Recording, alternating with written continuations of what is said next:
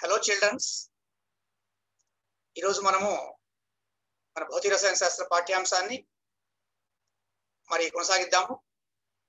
ప్రియమైన పదవ తరగతి విద్యార్థులారా మనము తొమ్మిదవ అధ్యాయం విద్యుత్ ప్రవాహం అనే పాఠాన్ని మనము చెప్పుకుంటున్నాము. మరి ఈ విద్యుత్ ప్రవాహంలో మనం ఈరోజు ఒక చక్కటి ఉపయోగకరమైనటువంటి మరియు మనందరము తెలుసుకోవాల్సినటువంటి ఒక అంశం నిత్య జీవితంలో మనము తెలుసుకోవాల్సిన అంశము విద్యుత్ సామర్థ్యం గురించి తెలుసుకుందాము.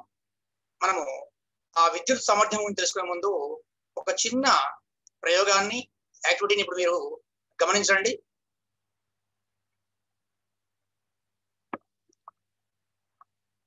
ఇక్కడ మనము ఒక బల్బు తీసుకున్నాం మనము.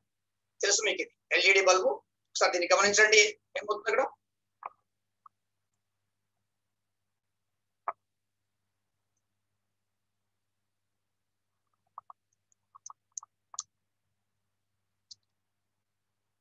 బల్బ్ అనేది విద్యుత్ ప్రవాహం వల్ల కాంతివంతంగా వెలిగింది.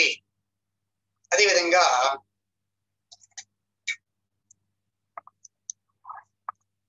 ఇంకో బల్బును గమనించండి. ఇంకొక బల్బ్ తీసుకున్నాం సో తదుపరి ఇంకా ఒక బల్బు గమనిద్దాం చూడండి. ఇది కొంచెం చిన్న బల్బు మనం మామూలుగా మనము ఉపయోగించే సాధారణ చిన్న బల్బ్ ఫిలమెంట్ బల్బ్ ఇది.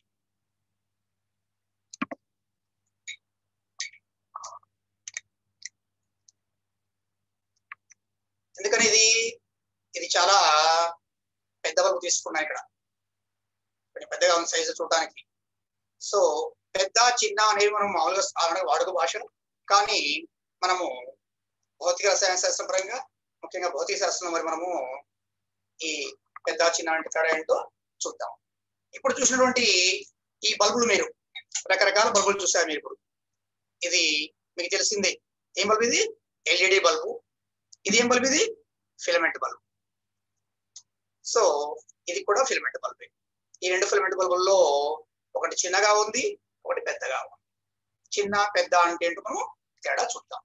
మరి ఆ తేడా తెలుసుకోవడం కోసం ఈరోజు మనం మనము మన పాఠ్యాంశాన్ని మనము కొనసాగిద్దాం. చూడండి ఇక్కడ ఇంకొక బల్బు చూస్తుంది ఇక్కడ.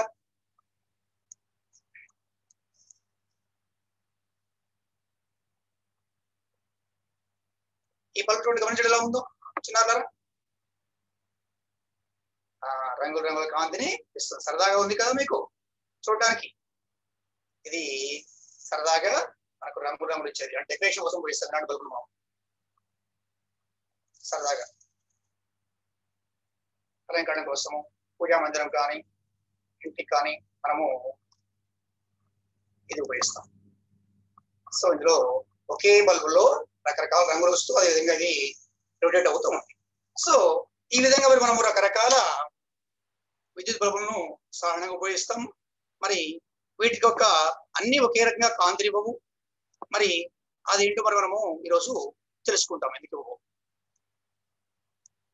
మరి ఈ విద్యుత్ బల్బులు అనేవి ఒకే రకమైన కాంతి ఇవ్వకపోవడమే కాకుండా వాటి యొక్క మరి ముఖ్యంగా మనకు తెలుసు వాటి యొక్క ఖరీదు అంటే రేటు అనేది వివిధ బల్బులు వివిధ రేట్లు కలిగి ఉంటాయి. మరి మనకు తెలుసు కదా సాధారణ ఫిలమెంట్ బల్బ్ అనేది పది ఇరవై ముప్పై రూపాయలు ఉంటే మనకు సిఎఫ్ఎల్ బల్బ్ అనేది కొంచెం ఖరీదుగా ఉంటుంది. అరవై రూపాయలు వంద రూపాయలు అలా ఉంటుంది. విధంగా ఇప్పుడు మనం ఎక్కువ విరివిగా వాడుతున్నాము ఏమిటవి? ఎల్ఈడి బల్బులు. ఎల్ఈడి బల్బులు ఇంకా రేట్ ఎక్కువ ఉంటున్నాయి. రెండు వందలు మూడు వందలు మూడు వందల యాభై ఈ విధంగా ఉంటాయి మరి మనకి. మరి ఈ విధంగా విద్యుత్ బల్బుల్లో వాటి రేట్లు ఎందుకు తేడా ఉంటున్నాయి? మరి మనం ఇప్పుడు సాధారణ ఫిలమెంట్ బల్బులు కాకుండా ఈ రోజుల్లో ఏం చేస్తున్నాం మనము? ఎక్కువగా ఈ ఎల్ఈడి బల్బుల్ని వాడుతున్నాం. ఎందుకు వాడుతున్నాము అంటే మామూలు ఫిలమెంట్ బల్బుల కంటే కూడా ఎల్ఈడి బల్బులు అనేవి తక్కువ విద్యుత్ ప్రవాహాన్ని విద్యుత్ శక్తిని ఉపయోగించుకుంటూ ఉంటాయి. అంటే వాటి సామర్థ్యం తక్కువగా ఉపయోగించుకోవడం వల్ల మనకు ఇందులో కరెంటు బిల్లు తక్కువగా వస్తుంది. మరి మనము విద్యుత్తును తక్కువగా వినియోగించుకోవడం వల్ల మరి మనము విద్యుత్తును పొదుపు చేసినట్లే అవుతుంది. అంటే విద్యుత్తును పొదుపు చేయడం అంటే విద్యుత్తును ఉత్పత్తి చేసినట్టే. మరి ఈ రోజుల్లో మరి మనకు బాగా విద్యుత్ అవసరాలు పెరిగిపోయాయి కాబట్టి వివిధ రకాల పరికరాలను ఉపయోగిస్తున్నప్పుడు ఏ విద్యుత్ పరికరాలను ఉపయోగించినప్పుడు మరి మనము విద్యుత్తును పొదుపుగా తక్కువగా వాడుకుంటాము. అప్పుడు మనకు ఇంటి యొక్క విద్యుత్ బిల్లు కూడా ప్రతి నెల ఇచ్చే కరెంట్ బిల్లు కూడా తక్కువగా వస్తుంది. ఈ విధంగా మరి మనము ఈ డబ్బును మనము పొదుపు చేయడమే కాకుండా విద్యుత్ శక్తిని కూడా మనము ఆదా చేసి భావితరాలకు మరి మనము అందించాల్సిన అవసరం ఉంది. మరి ఈ విధంగా మనము విద్యుత్ వినియోగాన్ని మనము గృహ అవసరం కాకుండా పారిశ్రామిక అవసరాలకి మనము వివిధ అవసరాలకు ఉపయోగిస్తున్నప్పుడు మరి ఆ విద్యుత్ బిల్లు కరెంట్ బిల్లు ప్రతి కడతాం కదా. మరి ఏ విధంగా వస్తుంది ఇప్పుడు మనము తెలుసుకుందాం. దాంట్లో మరి అతి ముఖ్యమైన చక్కటి అంశం ఏంటంటే విద్యుత్ సామర్థ్యము. విద్యుత్ సామర్థ్యము. దీన్ని మనం ఇంగ్లీష్లో పవర్ అంటాం. Electric power. దీన్ని పి అనే సంకేతంతో చూపిస్తాం. పవర్ కాబట్టి పి. విద్యుత్ సామర్థ్యం గుర్తు అంటే పితో చూపిస్తాం మనం. ఇంతకుముందు చూసినటువంటి ప్రయోగాల కృత్యంలో మరి మనము వివిధ బల్బులు వివిధ రకాలుగా వెలుగుతూ ఉన్నాయి కాంతినిస్తున్నాయి. దానికి కారణం ఏంటి అంటే ఆ బల్బుల యొక్క సామర్థ్యం అనేది తేడా ఉండటము. ఏ బల్బు సామర్థ్యం అధికంగా ఉంటుందో అది చక్కటి వెలుతురుతో పాటుగా మరి మనకు సౌ- సౌకర్యవంతంగా పనిచేస్తుంది.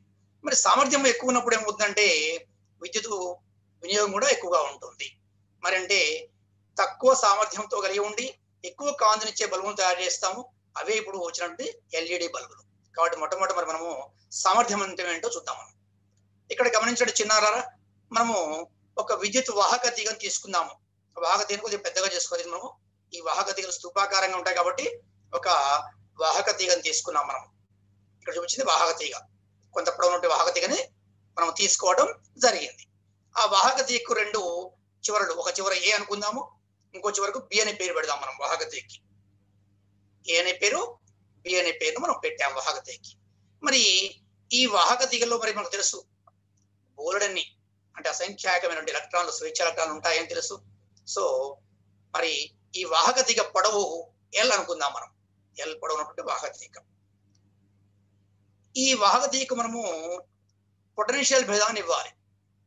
అంటే వాహక తీగ పొటెన్షియల్ ఇవ్వాలంటే మనము ఒక బ్యాటరీ లాంటి విద్యుత్ జనకాన్ని మనం దీనికి కలపాల్సి ఉంటుంది. ఈ బ్యాటరీ తీసుకున్నాము. ఈ బ్యాటరీ ఇచ్చే పొటెన్షియల్ భేదం అనేది వి అనుకుందాము. వి వోల్ట్ పొటెన్షియల్ భేదాన్ని బ్యాటరీ ఇవ్వగలుగుతుంది మరి ఇప్పుడు చూడండి జాగ్రత్తగా గమనించండి. బ్యాటరీని మనము ఈ వాహకానికి మనము కలపడం జరిగింది. అప్పుడు వాహకం గుండా విద్యుత్ ప్రవాహం చేస్తూ బ్యాటరీని చేరుకొని అంటే ఇప్పుడు ఈ వాహకంలో విద్యుత్ క్షేత్రము సమ విద్యుత్ క్షేత్రము ఏర్పడింది. ఈ వాహకంలో సమ విద్యుత్ క్షేత్రము ఏర్పడింది. కాబట్టి మరి ఈ సమవిద్యుత్ క్షేత్రం వల్ల మనకు తెలుసు వాహకంలో ఉన్నటువంటి ఆవేశాలు ఒక చివరి నుంచి ఇంకొక చివరకు ప్రయాణము చేస్తూ ఉంటాయి. ఒక్కసారి గమనించండి ఇక్కడ. మనం ఒక ఆవేశము ఈ నీలి రంగులో ఉన్నటువంటి బ్లూ రంగులో ఉన్నటువంటి ఆవేశం తీసుకున్నాము. ఆ ఆవేశము క్యూ కూలుముల ఆవేశం అది. దాని యొక్క బాణం గుర్తు చూపించాం మనం. ఆ బాణం గుర్తు ఏం తెలియజేస్తున్నాయి అంటే ఆ ఆవేశం కదిలే దిశ.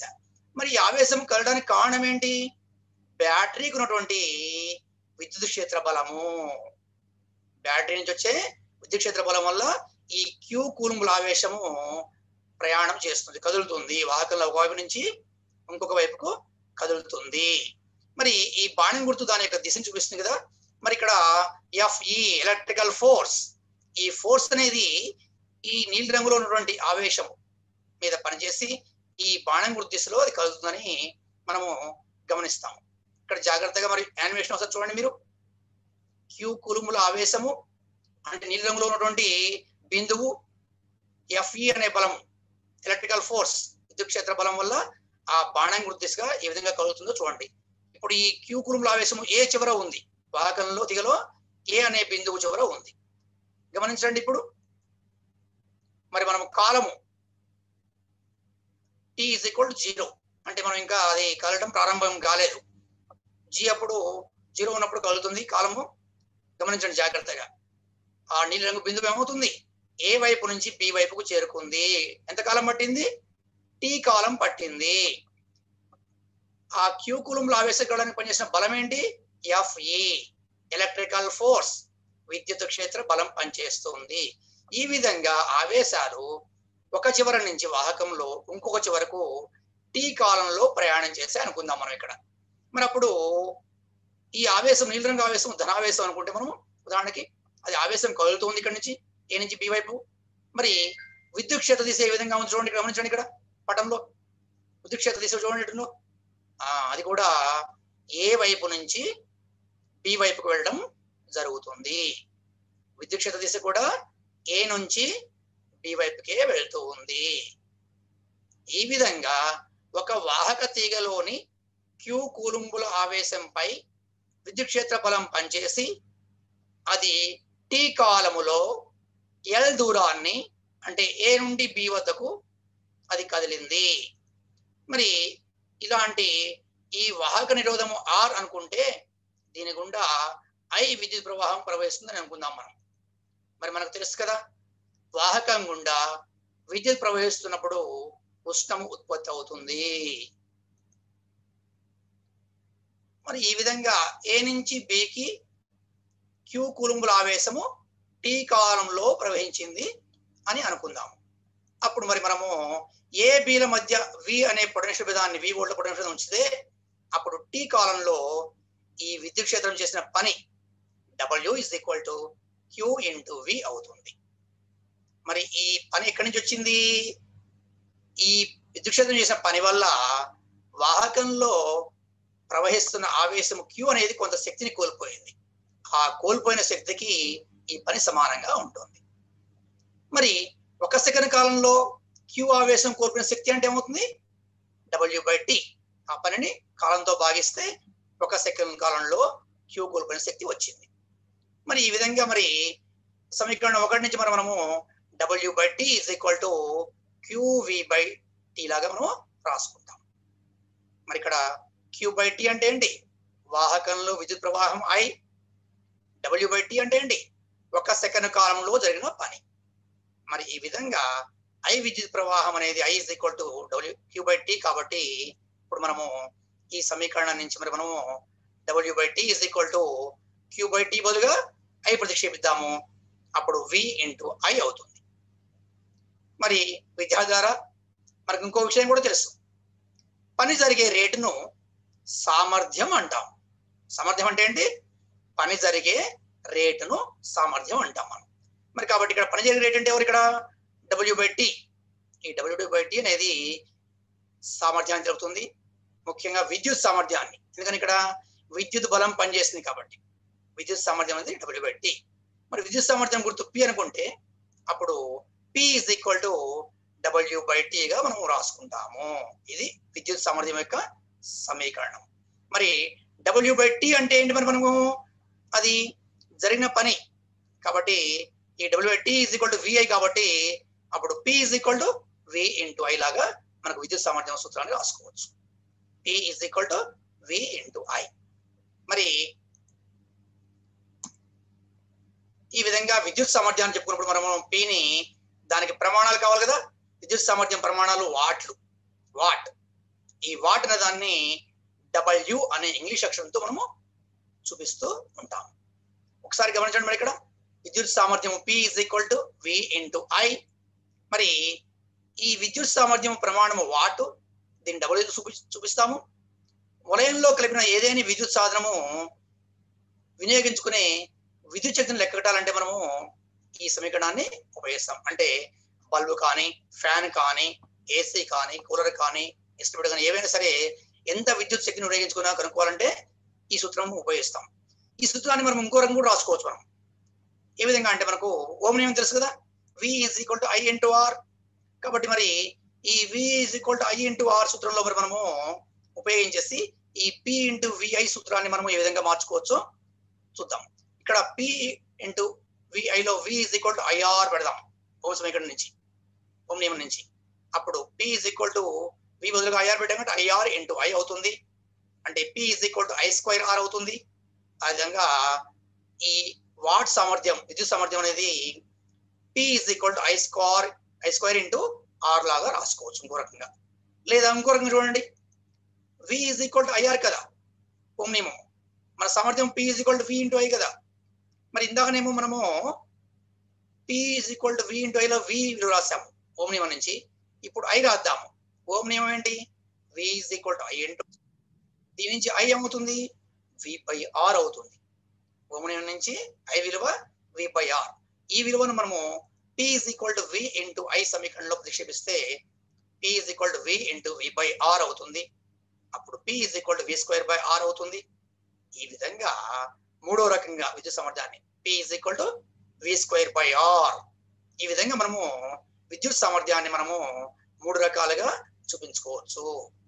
P is equal to PI లేదా P is equal to I square into R లేదా P is equal to V square by R అంటే సామర్థ్యాన్ని మనము విఐఆర్లలో రెండు తెలిస్తే మూడో విలువని మనము కనుక్కొని సామర్థ్యాన్ని కనుక్కోవచ్చు. మరి బ్యాటరీ లాంటి విద్యుత్ జనకాన్ని కూడా మరి మనము విద్యుత్ సమానం తెలుసుకోవచ్చా అంటే తెలుసుకోవచ్చు అప్పుడు P is equal to V into I సూత్రంలో మనము P is equal to ఎప్సాన్ into I లాగా రాసుకుంటాం మార్చుకొని. ఇక్కడ ఎప్సాన్ అనేది బ్యాటరీ యొక్క విద్యుత్ చాలక బలాన్ని తెలియజేస్తుంది పి ఇంటూ విఐలో వి అనేది ఆ వోల్టేజ్ని పొటెన్షియల్ భేదాన్ని తెలియజేస్తే విద్యుత్ వినియోగించుకుంది అనేక. ఇక్కడ ఎప్సాన్ అనేది బ్యాటరీ యొక్క ఈఎంఎఫ్ను తెలియజేస్తుంది. పి కూడా ఎప్సాన్ ఐ మరి మనము ఒక బల్బు నిరోధాన్ని లెక్కించడం చూద్దాం. ఈ విధంగా లెక్కించవచ్చు. మన ఇళ్ళలో పోయించే బల్బు కావచ్చు ఏదైనా బల్బు. నిరోధాన్ని లెక్కించడం ఎలాగో చూద్దాం. ఒక లెక్క చూద్దాం. ఒక బల్బు మీద అరవై డబ్ల్యూ కామ నూట ఇరవై వి అని రాసి ఉంటే ఆ బల్బు నిరోధాన్ని లెక్కించండి అంటున్నాడు. బల్బు మీద కొన్ని విలువలు రాసి ఉన్నాయి ఏం రాసి ఉన్నాయి విలువలు? ఆ బల్బు వినియోగించే విద్యుత్ సామర్థ్యం పి ఇస్ ఈక్వల్ టు అరవై డబ్ల్యూ. ఎందుకంటే డబ్ల్యూ అంటే ఏంటి? వాట్స్ కదా. వాట్స్ ఎవరి ప్రమాణము?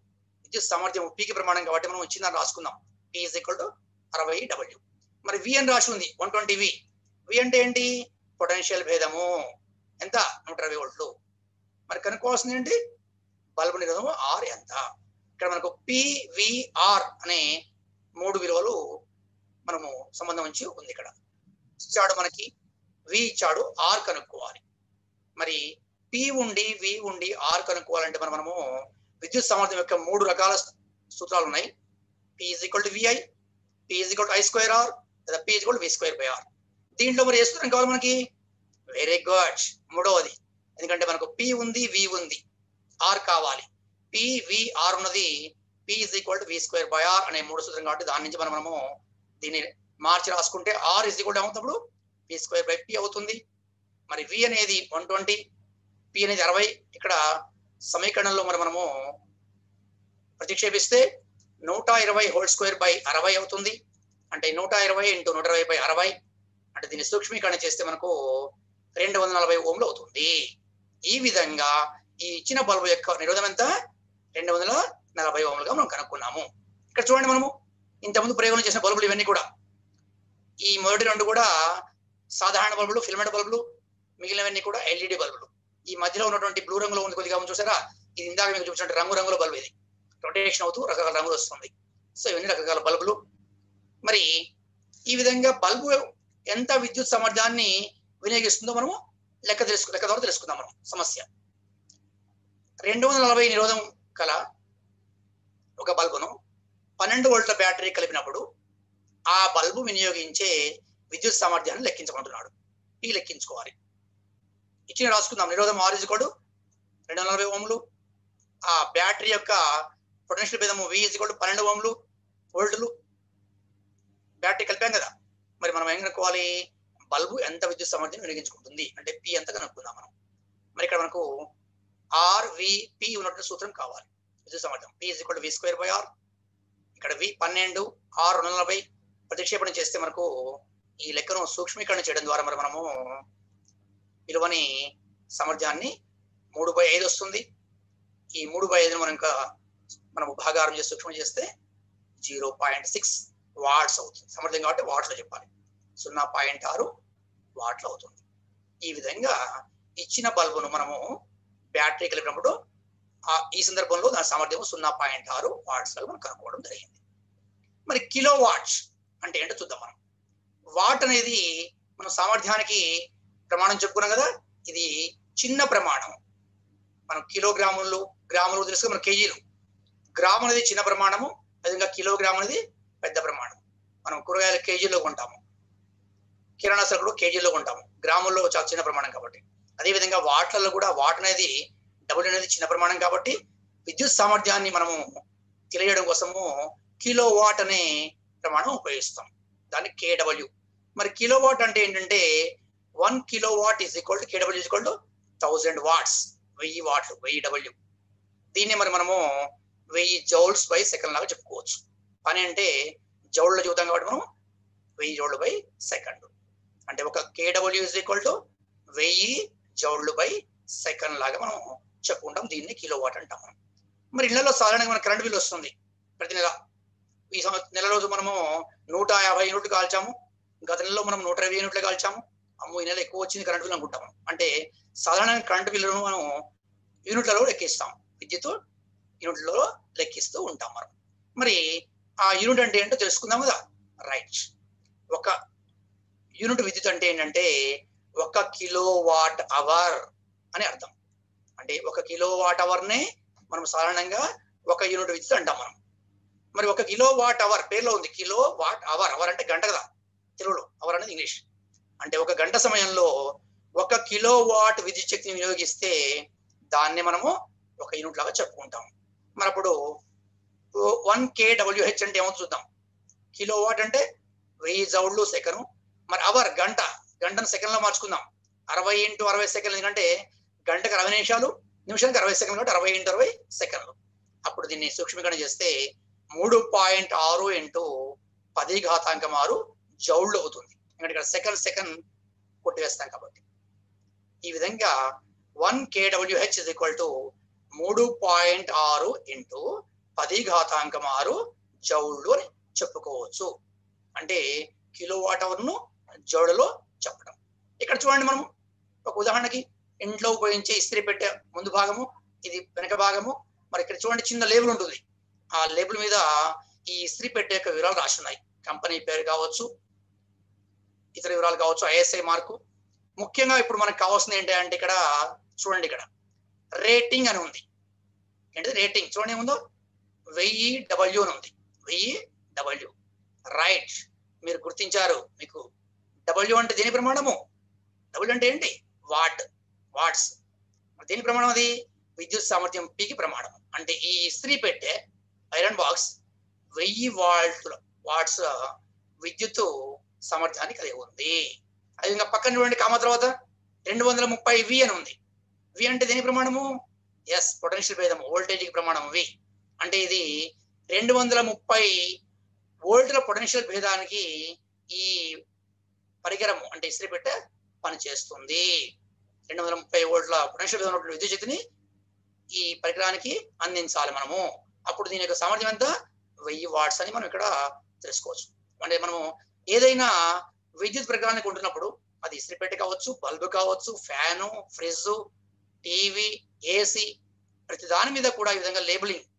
ఒక వివరాలతో కూడినటువంటి ఒక స్టిక్కర్ ఉంటుంది. దానిలో చూడాల్సింది ఏంటి మనము? ఈ వోల్టేజ్ తప్పకుండా అందరం కూడా ఎండలో పోయించేది రెండు వందల ముప్పై వోల్ట్లు. అప్పుడప్పుడు రెండు వందల నలభై వోల్ట్ అని రెండు వందల యాభై వోల్ట్ అని ఉంటుంది. No problem. ముఖ్యంగా మనము ఏం చూడాలంటే డబ్ల్యూ అంటే వాటేజ్ చూడాలి. అంటే ఈ వాటేజ్ని బట్టి మనకి ఇళ్ళలో కరెంట్ బిల్లు ఎక్కువ తక్కువ వస్తుంది. దేని డబ్ల్యూ విలువ ఎక్కువ ఉంటుందో అది ఎక్కువ విద్యుత్ శక్తిని వినియోగిస్తుంది.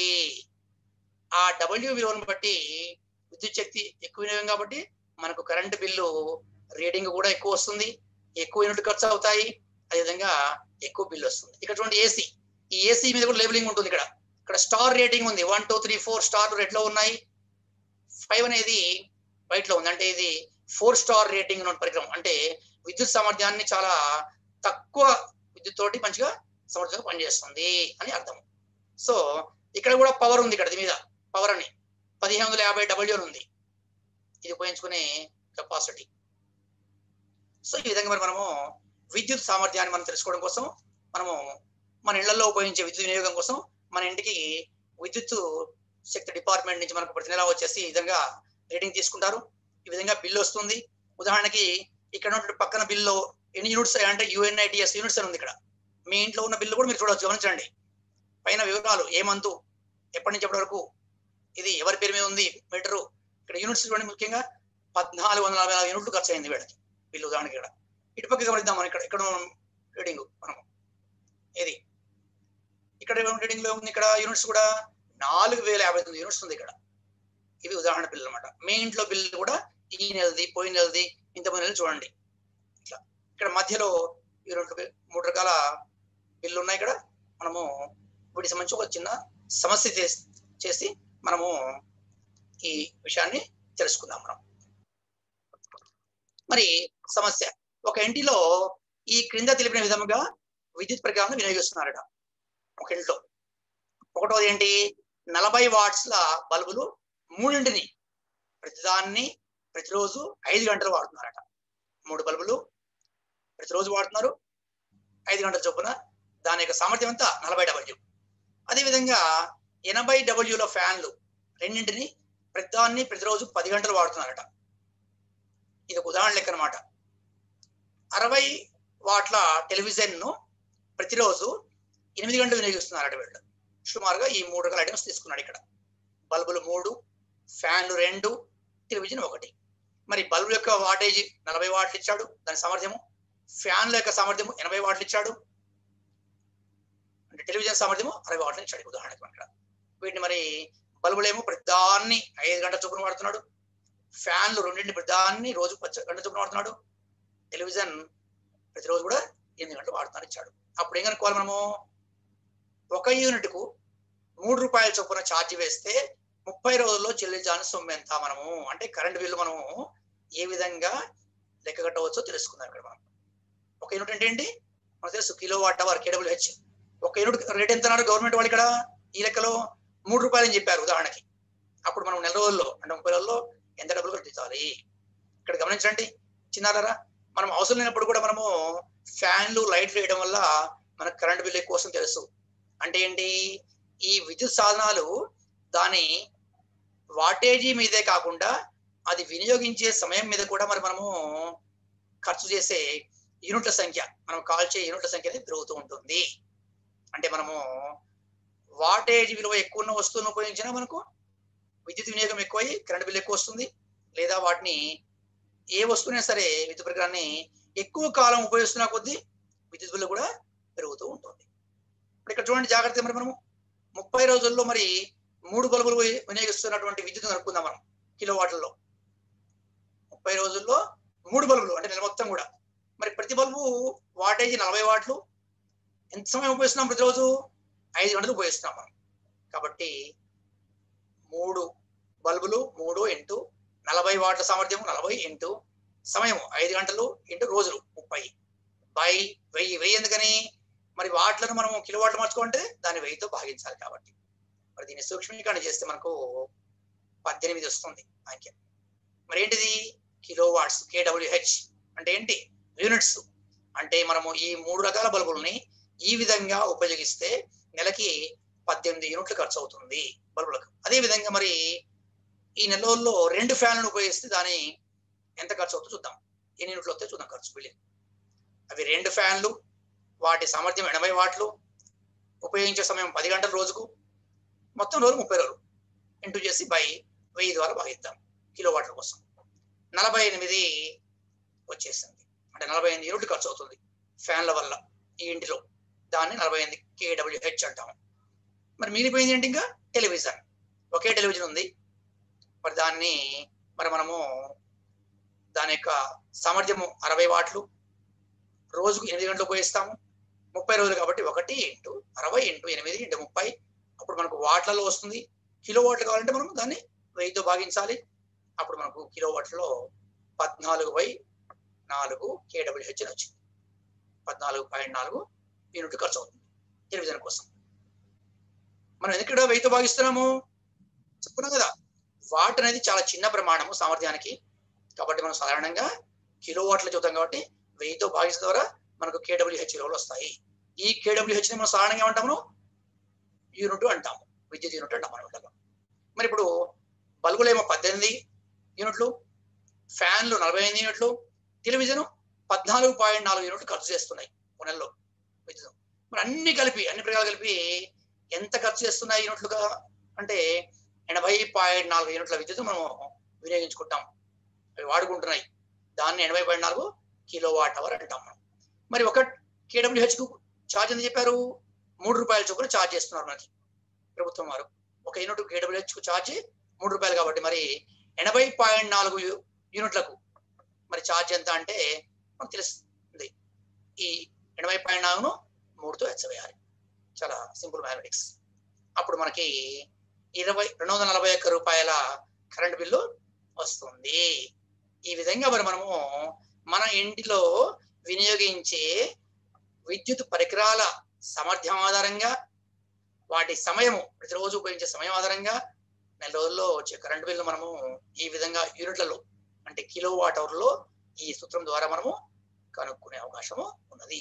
ఇక్కడ ఇచ్చినటువంటి సమస్యలో వాళ్ళకు వచ్చిన కరెంటు బిల్లు రెండు వందల నలభై ఒక్క రూపాయలు. మరి సాధారణంగా ఈ విద్యుత్ ఛార్జీలు అప్పుడు పెంచుతూ ఉంటారు. ప్రస్తుతం ఇప్పుడు మనకు గృహ అవసరాలకు వేరే ఉంటుంది. విద్యుత్ ఛార్జీ పరిశ్రమకు వేరే ఉంటుంది. అదే గృహ అవసరాలకు కూడా మరి యాభై యూనిట్ల వరకు ఒక ఛార్జీ వంద యూనిట్ల వరకు ఒక ఛార్జీ ముప్పై నుంచి మరి ఇంకా పైన ఒక ఛార్జీ అట్లా రకరకాలుగా మనము ఈ విలువను మనం ప్రభుత్వం వారు నిర్ణయిస్తుంటారు. అంటే ఎక్కువ ఆడుకున్న వాళ్ళకి యూనిట్ రేట్లు పెంచడం జరుగుతుంది. మరి ప్రస్తుతం ఐదు ఆరు రూపాయల యూనిట్ ఛార్జీ సాధారణంగా ఉంది. ఇంకా మనం ఎక్కువ విద్యుత్ చేసినప్పుడు మనకు వాడు ఛార్జ్ కిలోవాట్ యొక్క ఛార్జ్ కూడా పెంచుతూ ఉంటారు. దీన్ని బట్టి మరి మనము విద్యుత్ యొక్క బిల్లు తెలుసుకోవచ్చు. సో ఈ విధంగా మరి మనం చిన్నారులారా ఈ విద్యుత్ సామర్థ్యం తెలుసుకున్నప్పుడు చివరికి మనం తెలుసుకోవాల్సింది ఏంటంటే ఏదైనా పరికరాన్ని మనం కొంటున్నప్పుడు విద్యుత్ పరికరాన్ని దాని మీద మనము డబ్ల్యూ అనే అంకె చూడాలి. చివరికి బల్బు కొన్నప్పటికి కూడా బల్బులో కూడా డబ్ల్యూ అనే అంకె అది రాసి ఉంటుంది. దాన్ని మనము గమనించాల్సిన అవసరం ఉంటుంది. ఆ వాట్ విలువ ఎక్కువ ఉన్నప్పుడు అది ఎక్కువ విద్యుత్తును వినియోగిస్తున్న అర్థము. అదేవిధంగా దాని సామర్థ్యం కూడా ఎక్కువ అర్థం. అది సమర్థవంతంగా పనిచేస్తుంది. ఉదాహరణకి అరవై డబ్ల్యూ ఉన్న బల్బ్ ఒకటి ఉంది. వంద డబ్ల్యూ ఉన్న బల్బు ఒకటి ఉంది అని రాస్తాను మరి అరవై డబ్ల్యూ ఉన్న బల్బు కంటే వంద డబ్ల్యూ ఉన్న బల్బు ఎక్కువ విద్యుత్తును వినియోగిస్తుంది. విద్యుత్ సామర్థ్యాన్ని ఎక్కువ పెంచుకుంటుంది అంటే దానివల్ల కరెంట్ బిల్ ఎక్కువ వస్తుంది. మరి అదే విధంగా మనకు తెలుసు అరవై డబ్ల్యూ ఉన్న బల్బు కంటే వంద డబ్ల్యూ ఉన్న బల్బు కాంతివంతంగా వెలుగుతుంది ఎక్కువ కాంతినిస్తుంది ఇది కారణం ఇక్కడ. మనకి వాటేజ్ వల్ల మనకు విద్యుత్ సామర్థ్యం పెరిగి విద్యుత్ ఖర్చు ఎక్కువ కాబట్టి మన ఇళ్ళలో కొనుక్కున్నప్పుడు మనం సాధారణంగా ఈ వాటేజ్ చూడాలి. ముఖ్యంగా మన ఇంట్లో ఉపయోగించే బల్బులు సాధారణంగా మనము మనం ఎల్ఈడి బల్బులు అయితే మూడు వాట్ల నుంచి కూడా ఉన్నాయి ఎల్ఈడి బల్బులు. కాబట్టి ఎల్ఈడి బల్బులు చాలా తక్కువ విద్యుత్ వినియోగించుకుంటాయి ఎక్కువగా అందిస్తాయి మూడు వాట్లు తొమ్మిది వాట్లు పన్నెండు వాట్లు ఇరవై వాట్లు ఉంటాయి. సాధారణ బల్బులు నలభై వాట్లు అరవై వాట్లు వంద వాట్లు ఉంటాయి. మరి బల్బుల యొక్క వాటేజ్ కంటే ఫ్యాన్ల సీలింగ్ ఫ్యాన్ లేదా టేబుల్ ఫ్యాన్ వాటేజ్ ఎక్కువ ఉంటుంది. సుమారుగా డెబ్బై వాట్లు నూట ఇరవై ఐదు వాట్లు వంద వాట్లు ఉంటాయి. మరి ఇంకా కూలర్ మనము ఎండాకాలం ఉపయోగిస్తాం. ఆ కూలర్ వాటేజీ నూట యాభై వాట్లు రెండు వందల వాట్లు అట్లా ఎక్కువ ఉంటుంది. మరి ముఖ్యంగా మనకు తెలుసు ఇండ్లలో ఏసీని ఉపయోగిస్తున్నప్పుడు ఎండాకాలం మనము ఎక్కువ విద్యుత్ అవడం గమనిస్తూ ఉంటాము. ఎందుకంటే ఏసీ యొక్క విద్యుత్ సామర్థ్యం ఎంత తెలుసా మీకు? ఏసీ యొక్క విద్యుత్ సామర్థ్యము రెండు వేల వాట్ల నుంచి మూడు వేల వాట్ల వరకు ఉంటుంది. అందుకని ఏసీ మూడు వేల వాట్ల విద్యుత్తును వినియోగించుకుంటుంది కాబట్టి దానికి కరెంట్ బిల్లు చాలా ఎక్కువగా వస్తుంది. అంతేకాకుండా ఇప్పుడు చలికాలము. చలికాలంలో మనము ఇమ్మర్షన్ హీటర్ల ద్వారా లేదా గీజర్ల ద్వారా నీటిని వేడి చేసుకుంటాము. వీటికి కూడా చాలా విద్యుత్ ఖర్చు అవుతుంది. చాలా బిల్లు వస్తుంది. ఎందుకంటే ఈ గీజర్లు హీటర్ల యొక్క వాటేజ్ అనేది వెయ్యి వాట్ల నుంచి రెండు వేల వాట్లు మూడు వేల వాట్ల వరకు కూడా ఉంటుంది. కాబట్టి మరి మనము విద్యుత్తును జాగ్రత్తగా మనం విద్యుత్ ప్రకారం మనము సమయం తక్కువ సమయం ఉపయోగించుకుంటూ మనం అవసరాల మేరకు వాడుకుంటూ అవసరమైనప్పుడు ఫ్యాన్లు టీవీలు ఏసీలు గీజర్లు అన్ని బంద్ చేసి మనం విద్యుత్ను పొదుపు చేద్దాము. ఈ విధంగా విద్యుత్ పొదుపు చేయడం వల్ల మరి మనం ఆదా చేయడం వల్ల మన ఇంటి యొక్క విద్యుత్ బిల్లు తక్కువ వచ్చి మనం అమ్మానాన్నలకు సహాయపడినట్టుగా ఉంటుంది. అంటే తక్కువ విద్యుత్ బిల్లు అవుతుంది. తక్కువ యూనిట్లు కాలడం వల్ల అదే విధంగా మనము పర్యావరణానికి మేలు చేసినట్టు అవుతుంది. భావితరాలకు కూడా మరి మనము చక్కటి సందేశాన్ని ఇచ్చి మరి విద్యుత్ పొదుపు చేసి పర్యావరణాన్ని మనము కాపాడిన వారు అవుతాం కాబట్టి మరి మనము ఈ విధంగా ఈ రోజు తెలిసినటువంటి విద్యుత్ పరికరాల యొక్క సామర్థ్యం అంశాన్ని మనం మన జీవితంలో వినియోగించుకుంటూ మనము సుఖమయంగా మన జీవనాన్ని కొనసాగిద్దామని ఆశిస్తున్నాం. Thank you children's thank you very much